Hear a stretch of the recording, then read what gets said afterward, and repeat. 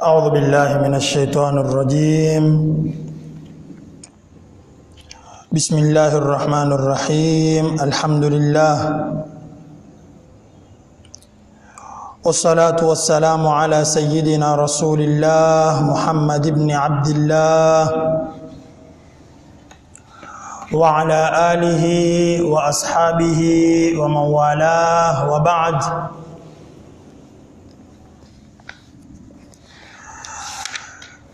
Watuambia mwenye kitabu kafa bilmar'i aran an tarahu min ash-sha'ni ar-rafi'i ila inhitati على المذموم من فعل حريصا عن الخيرات منقطع النشاط يشير بكفه أمرا ونهيا إلى الخدام من صدر البساط. يرى أن المعازف والملاهي تمكنه الجواز على الصراط. لقد خاب الشقي وضل عجزا. wazala alqalbu minhu ala niyati. Leo tukiwa twaendelea na kufuata mfumo wa mwenye kitabu cha Tabaraka Dhul Ula, mfumo wa kuregeshana kwa Mwenyezi Mungu Jalla Jalaluhu kwa njia ya mashairi mfumo ambao ni wa kumfanya mwanadamu hasa katika mwezi kama huu wa Ramadhan awe atakuwa karibu na Mola wake na awe atamwabudu Mola wake kama inavyotakikana. Katika baiti za leo ameanza kwa kutuambia kafa bilmar'i aran yatosha kwa mtu kuwa ni dhambi kuwa ni aibu. Antarahu umuone mtu huyo.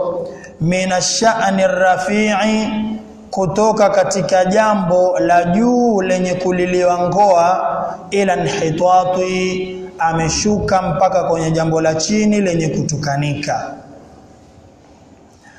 Ala almadhmumi juu ya mambo yenye kutukanwa kisheria min fi'lin nayo ni ya vitendo hariswa ni mwenye pupa. Anil khairati lakini katika mambo ya khairi munqati an nashati ni mwenye kukatika nishati.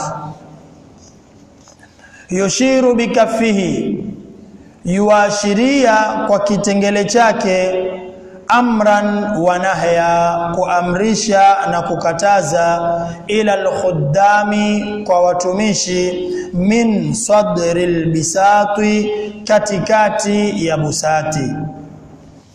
Yara yuwaona mtu huyo anna almaazifa kuwa ala za kujiturubisha walmalahi na pumbao tumakinuhu aljawaza zitammakinisha yeye kupita ala sirati juu ya sirat.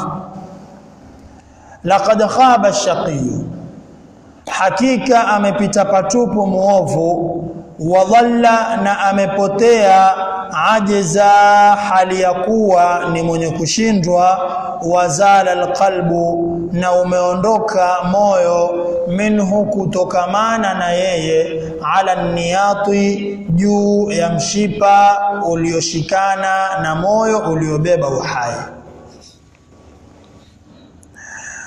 Hizi ndio baiti tano za leo za harufu ya twe ambazo huyu shekhe ameziandika ili kuturegesha kwa Mwenyezi Mungu Subhanahu wa Ta'ala. Katika abiyati za leo ameanza kwa kuyataja mambo ambayo ni aibu kwa mwanadamu. Kuna mambo mwanadamu kuwa nayo ni aibu bali huonesha ni jinsi gani mwanadamu huyu ni hodari katika mambo ya hapa duniani lakini ni mjinga katika mambo ya akhira na hakuna aibu kubwa kama kuwa mjinga katika mambo ya akhira anasema mwenye kitabu kafa bilmar'i ara. Yatosha kwa mtu kuwa ni aibu. Antarahu umuone mtu mina sha'ni rafi'i ila nhitati kutoka katika jambo la juu mpaka kufika katika jambo la chini. Hiyo ni aibu daraja ya mwisho. Mtu ambaye jana na juzi alikuwa katika vyeo vya juu. Mtu ambaye juzi alikuwa katika waheshimiwa. Mtu ambaye miaka kadhaa iliyopita alikuwa katika maraisi alikuwa katika viongozi. Ghafla umuone ametoka katika ile hali ya juu amepomoka mpaka katika hali ya chini. Na kama wanavyosema kuna kuanguka na kuna kuporomoka. Kuporomoka ni kubaya zaidi kuliko kuanguka. Na akianguka mtu wa kawaida huhisabika ni kuanguka tu. Lakini ikiwa ni mtu mwenye cheo ikiwa ni mtu mwenye heshima ikiwa ni mtu aliyesalimika basi huwa si kuanguka bali ni kuporomoka. Na ndio ukaona yamlazimu kiongozi yoyote yamlazimu hasa mtu wa dini ambaye yuwaitangaza dini ya Mwenyezi Mungu Jalla Jalaluhu ajikinge namna anavyoweza asianguke kwa sababu kuanguka kwake yeye huhesabika si kuanguka bali ni kuporomoka. Hasa mwenye kitabu anatuambia ni aibu. Umwone mtu hapa ulimwenguni alikuwa katika watu wenye vyeo vya juu. Mbele ya Mwenyezi Mungu Jalla Jalaluhu siku ya kiyama ndio ukamwone mtu yule ameporomoka. Hii ni mojawapo katika mambo ya aibu katika mambo ambayo ni jumla ya aibu mwenye kitabu anasema ala almadhmumi min fi'lin hariswa. Katika mambo ya aibu ni kumwona mtu kwenye matendo yote mabaya mabaya anapupa kuyafanya. Anabidi mno kufanya mambo maovu. Yaani kuna watu wana fani za kufanya maovu kama vile ambavyo wewe una fani za kufanya mambo ya kheri. Mara baada ya dakika tano umebadilisha kheri hii. Baada ya nusu saa wafanya mazuri haya. Masaa matatu atakapokuja mbele uko katika jambo lingine la kheri. Yani wewe ni hodari mno wa mambo ya kheri. Basi kuna na watu Mwenyezi Mungu amewajalia ni mahodari katika mambo ya shari. Hakuwezi kupita dakika ishirini ama nusu saa akawa yuko katika shari ile ile kila baada ya nusu saa huwa yuko katika katika hiya akbaru min ukhtiha. Yuko katika aya nyingine ambayo ni kubwa kuliko ile iliyotangulia. Kuna watu Mwenyezi Mungu amewapa ujuzi huo.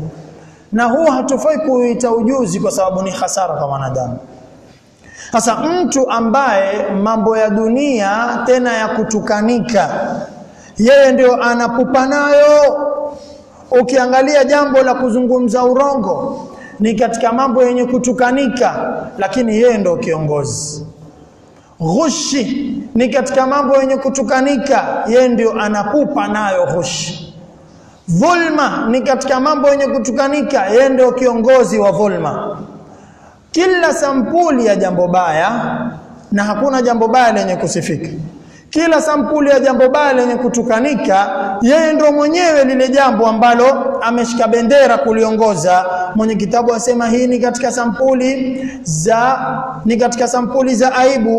Utakuwaje wewe unapupa na unabidii katika mambo yenye kutukanisha?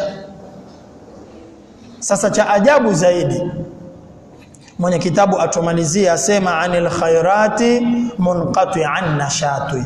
Cha ajabu ni kuwa anapupa katika mambo ya dunia lakini ukimleta katika mambo ya kheri hana nishati hana morali wa kufanya. Ukimuingiza katika mambo ya dunia mashallah ni mbidii mno. Lakini ukimuingiza katika mambo ya kheri mvivu kama yeye hakuna. Mwenye kitabu asema hii ni mojawapo katika mambo ya aibu angalia Mwenyezi Mungu Subhanahu wa Ta'ala wale wanafik katika Qur'an Mwenyezi Mungu amewataja kwa sifa ya uvivu. Yanapokuja mambo ya kuchonganisha waislamu yanapokuja mambo ya kuleta fitna kati ya waislamu yanapokuja mambo ya kutia uchochezi kati ya waislamu wanakuwa wepesi wanafik kukimbilia kuhakikisha uchochezi ule unaendelea wepesi mno lakini wanapoletwa katika mambo ya kheri wanakuwa wavivu daraja ya mwisho. Mwenyezi Mungu Subhanahu wa Ta'ala akatutajia katika Qur'an kuwa kitendo cha uvivu katika mambo ya kheri ni mojawapo wa sifa za wanafiki ni kitendo cha kutukanisha kwa sababu ni aibu. Mtu atakiwa awe kinyume katika mambo ya kheri ndio awe mbidii katika mambo mengine ataangalia yeye. Lakini ikiwa mambo mengine ndiyo mbidii mambo ya kheri ni mvivu hii ni mojawapo katika sifa za wanafiki Mwenyezi Mungu Jalla Jalaluhu ametaja katika Qur'ani akisema wa idha qamu ila salati qamu kusala yurauna an-nasa wala yadhkuruna Allaha illa qalila. Wakisimama kwenda katika swala husimama hali ya kuwa ni wavivu. Nukta muhimu. Sio kuwa hawaendi kuswali wanakwenda. Lakini wanakwenda katika hali ya uvivu. Yani wanakwenda kama waliofungwa na pingu wanaburutwa wanaambiwa njooni huku ndio wanakwenda. Sasa mwenye kitabu atuzundusha leo na atutoa masikio taka. Atuambia kuwa katika mambo ambayo ni aibu jambo la kwanza ni mtu hapa ulimwenguni alikuwa na cheo kikubwa ni mtu hapa ulimwenguni alikuwa na majina makubwa akiitwa rais akiitwa waziri akiitwa mbunge. Lakini majina haya yakawa yamemkuza hapa duniani. Kumbe kesho siku ya kiyama atakwenda kuporomoka atakwenda kuanguka. Majina hayatomsaidia chochote. Mwenye kitabu asema hii ni aibu ya kwanza kiusawa ni mtu hapa ulimwenguni hata kama atakosa jina lakini mbele ya Mwenyezi Mungu awe atapata jina. Hapa ulimwenguni hata kama atakuwa na cheo kidogo lakini mbele ya Mwenyezi Mungu awe na cheo kikubwa. Anasema aibu sampuli ya pili ni umwone mtu katika mambo ya shari ni mbidii. Lakini katika mambo ya kheri ni mvivu hii ni alama ya pili ya aibu. Na mtumi sallallahu alayhi wa alihi wasallam katika hadithi alitubainishia. Alitubainishia kuwa Mwenyezi Mungu Jalla Jalaluhu katika maumbile aliyotuumba nayo kila mtu amemfanyia wepesi jambo lake. Mtume alituambia i'malu fa kullun muyassarun lima khuliqa lahu.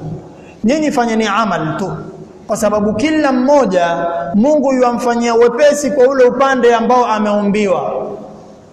Ule upande ulioumbiwa ndio Mwenyezi Mungu anaokufanyia wepesi. Wewe angalia.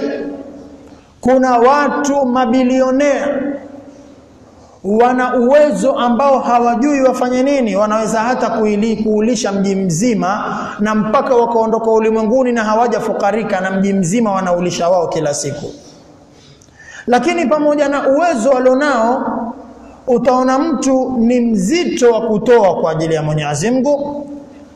Hajawahi kumjengea Mwenyezi Mungu nyumba. Hajajenga masjid. Mtu huyo huyo ukimwangalia katika mambo maovu mambo ya shari utamwona ana mengi ashayafanya. Kule aliwahi kujenga ba huku aliwahi kujenga club kule aliwahi kujenga kitu fulani. Yani mpaka wajiuliza kwani huyu tofauti yake kufanya mambo ya kheri ni nini na pesa ni ile ile? Lakini kumbe kile ambacho Mwenyezi Mungu amekuumbia ndicho anachokufanyia sahali. Ukaona wengine hawana uwezo lakini mtu yasema hii ardhi yangu nimeitoa kujengwa nyumba ya Mwenyezi Mungu. Akiona amejaribu kupata kutafuta ufadhili amekosa kwasimamishwa banda ambao ni masjid kumwabudu Mwenyezi Mungu. Huyu huku anakuonesha hana uwezo, lakini Mungu amemuumbia mambo mazuri, basi haoni tatizo kufanya hata kama hana. Yule mwenye uwezo lakini ameumbiwa mabaya, basi hawezi kufanya mazuri. Na hicho kitu tuki, tukiangalieni sana wanaofanya maovu leo hii na wanaoyashangilia yaendelee ndio wenye uwezo wanaofanya mambo ya kheri ni wale wenye kujaribu na kubambanya lakini hawawafikii wenye kufanya mambo ya shari kwa uwezo. Hii inatokana na nini? Inatokana na kila mmoja amefanyiwa uwepesi lile aliloumbiwa. Kama Mwenyezi Mungu amekufanyia wepesi ibada ndio pale kwako wewe kuamka salatu subhi si shida kwa sababu wewe umeumbiwa hilo.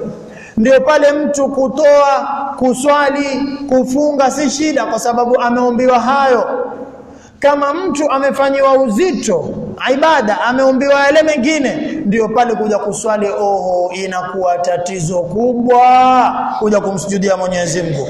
Ni nini yote haya? Ni kwa sababu ya kile ambacho mwanadamu ameumbiwa. Na wala mtu asiseme sasa ikiwa nimeombiwa maovu basi ina haja gani nijibidiishe na mimi ninaombiwa maovu. Hata nikajibidiisha mimi yangu maovu tu hata nikafanya bidii mimi ni mtu wa upande huo. Hapana mtu asiseme hivyo. Tumebainisha mara kadha wa kadha katika mazungumzo yetu. Kuwa Mwenyezi Mungu Jalla Jalaluhu kutuumba sisi kisha kumfanya huyu ni wa maovu huyu wa mazuri sio Mwenyezi Mungu kuwa amepanga na akahukumu na akakata kwamba wewe utakufa hivyo. Hiari bado unayo mkononi mwako inna hadainahu sabila imma shakiran wa imma kafura. Hiari unayo wewe angalia njia unayoitaka. Kilichoandikwa na Mwenyezi Mungu unaweza kukibadilisha. Aliyeandikiwa kuwa ni mwema akabadilisha akawa mwovu na aliyeandikiwa kuwa ni mwovu akabadilisha akawa mwema. Tunasema ni sawa na yule mfano wa mwalimu katika darasa aliyejiliwa na mgeni kuja kutembelea darasa lake katika shule au katika madarasa. Mgeni akamwambia hebu nielezee hapa atakayekuwa mtoto wa kwanza ni nani wa pili ni nani wa tatu nani na wa mwisho ni nani? Na kwa ujuzi wa yule mwalimu wa kuwasomesha wale watoto anaweza kumwambia yule mgeni darasa hili wa kwanza ni huyu wa pili ni huyu na wa mwisho ni huyu kama namna yule mwalimu anavyokuwa na ujuzi wa kuweza kuzipanga zile namba kwa sababu awajua wale wanafunzi ndivyo namna Mwenyezi Mungu alivyo na ujuzi wa kuweza kupanga huyu mwema huyu mwovu kwa sababu atujua sisi. Lakini haimaanishi kupangwa kule kushaisha. Yule ambaye mwalimu amesema wa mwisho huyu akifanya bidii anaweza kuwa wa mwanzo. Neno la mwalimu sio mwisho. Yule aliambiwa ni wa mwanzo akifanya machezo anaweza kuwa wa mwisho. Ndio kadhalika na sisi. Pale alipoandikiwa mtu anaweza badilisha akaenda kwingine ni bidii yake yeye mwenyewe na jinsi gani yajipeleka kwa Mwenyezi Mungu Subhanahu wa Ta'ala. Kwa mwenye kitabu anatuambia kuwa katika aibu ni mtu kuwa mvivu wa mambo ya kheri halafu kuwa mbidii katika mambo ya shari. Hii ni mojawapo katika aibu anaendelea kutwambia yushiru bikaffihi amran wa nahya ala ila alkhuddami min sadri albisati. Mtu anapofikia mahali akajiona akiketi anaweza kumamrisha ulete hichi regesha kile fanya hivi usifanye. Wakati mwingine mtu hudanganyika akaona ashafika kwa kuwa yuamrisha amrisha, amrisha hii kuamrisha amrisha haimaanishi umefika kwa sababu ni aibu siku ya kiyama. Twende tukakuone wewe uliokuwa ukiamrisha hapa ulimwenguni umekuwa katika watu ambao hawana uzito wowote mbele ya Mwenyezi Mungu. Hiyo ni aibu. Ili uwe umefanya vizuri ni namna ulivyokuwa ukiamrisha amrisha ulimwenguni na huku ukimwabudu Mwenyezi Mungu uhifadhi daraja yako mbele ya Mwenyezi Mungu Jalla Jalalu. Basi mwenye kitabu atumalizia katika baiti mbili za mwisho atuambia? Yara anna almaazifa walmalahi tumakinuhu aljawaza ala sirati. Mtu anapofikia mahali pa kuamrisha saa ingine huona hizi ala za mapumbao hizi. Kuna hizi ala za kujipumbaza pumbaza. Wakati mwingine mtu huona ndo zaweza msababishia kupita sirati, na hichi kitu ni muhimu tukijue ndugu zangu mtu kuwa kumiliki hapa duniani ni kitu chingine na kupita kwenye sirati ni kitu chingine. Mwenye kitabu ametutajia mambo mawili lakini kama ametaja yote ametaja almaazif almalahi almaazif ni chombo chochote cha kuweza kujiburudisha vyombo hivi vya kupiga ala za mziki kwa lugha nyingine mtu asichukulie kuwa kumiliki ala za kimziki. Hiyo eti ni sababu ya yeye kupita sirati. Hakuna kitu hicho. Ametaja jambo la pili almalahi. Malahi ni pumbao lolote lolote unalojipumbaza nalo. Umeweza kuwa na uwezo umejenga majumba yasiyo na mfano. Kila aina ya starehe umetia. Hayo majumba na starehe ulizoweka usidhanie ndio zitakazokupitisha katika sirati. Kwenye sirati watu wapita kwa mengine na unaoyafanya wewe ni mengine. Kumiliki ulimwenguni sio kipimo cha kupita katika sirati ya Mwenyezi Mungu. Kukosa ulimwenguni sio kipimo cha kutoweza kupita sirati ya Mwenyezi Mungu. Sirat inapitwa na mambo mema na wala sio miliki ulizozimiliki katika huu ulimwengu kama kuna mfano mzuri tuliotajiwa na mtume sallallahu alaihi wa alihi wasallama ni ile hadithi. Mtume aliposema kuwa maskini wataingia katika pepo ya Mwenyezi Mungu mbele ya matajiri kwa zaidi ya miaka elfu sabini. Yani masakini washatangulia janna matajiri bado wanafanyiwa hisabu hawajapita katika sirat wanafanyiwa hisabu angalia ile hali sasa kilichowapitisha maskini ni nini? Na duniani walikuwa hawakumiliki kitu. Ni amali zao njema. Kilichozuia matajiri wasipite ni nini? Ni kwa sababu walipomiliki huenda waliona washamaliza huenda waliona wanaweza kununua kupita sirati kama wanavyonunua hapa ulimwenguni. Basi mwenye kitabu asema kumiliki hapa ulimwenguni sio kupita sirati. Sirati hupitwa na haya mambo tunaoyafanya haya. Kumwabudu Mwenyezi Mungu kufuata maamrisho yake kujiepusha na makatazo haya ndio yatakayotupitisha katika sirati. Basi mwenye kitabu hizi ndio baiti ambazo ametukumbusha nazo. Mwisho ametuambia laqad khaba ash-shaqi wa dhalla ajza wa zala al-qalbu minhu ala niyatu ndugu zangu. Katika tuliokumbushwa leo mwenye kitabu yatukumbusha kuwa tusidanganyike. Tusidanganyike na vyo tunavyokuwa navyo. Wakati vyo hivi haviendi kutusaidia kitu kwa Mwenyezi Mungu. Tusidanganyike navyo. Usishtuke ukisikia mtu aitwa raisi usishtuke ukisikia mtu aitwa waziri mkuu. Usishtuke wewe mwangalie yukoje na Mwenyezi Mungu? Na wala usijione wewe haujapata cheo kwa sababu hujaitwa majina makubwa kama yale. Ukaona ule amekuzidi. Hapana. Wewe unayemwabudu Mwenyezi Mungu umemzidi yeye. Kwa sababu yeye vyo vyake vyamalizikia hapa hapa. Wewe hapa duniani una cheo na kesho utakuwa na cheo kikubwa zaidi. Hapa wewe ni mja wa Mungu. Kule utakuwa mja anayestahiki pepo ya Mwenyezi Mungu jalla jalaluhu kwa hiyo atukumbusha kuwa kuna mambo ya aibu.